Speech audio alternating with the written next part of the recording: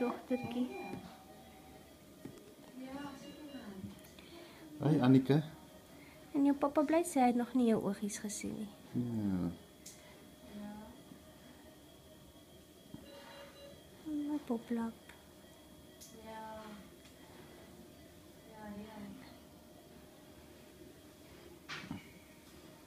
Hey liefie. Ja, videoklip. Versigtig, jy lyk of jy baie maklik gaan preek. Zeg nee, wat? Ek stanger is wat ek lyk. Ja, dankie. Kai handjies. Dis handjies het jy. Ons gaan al jou ledemate aan een van ons twee toeskryf. Dink jy sy droom? O, oh, wat is so sleg, hè?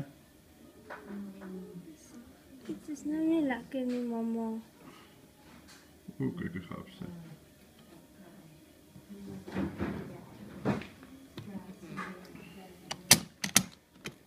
Okay, ek gaan jou nie pla nie. Maar sy maak ook eers 'n klankie nie. Net vir mamma. Kom.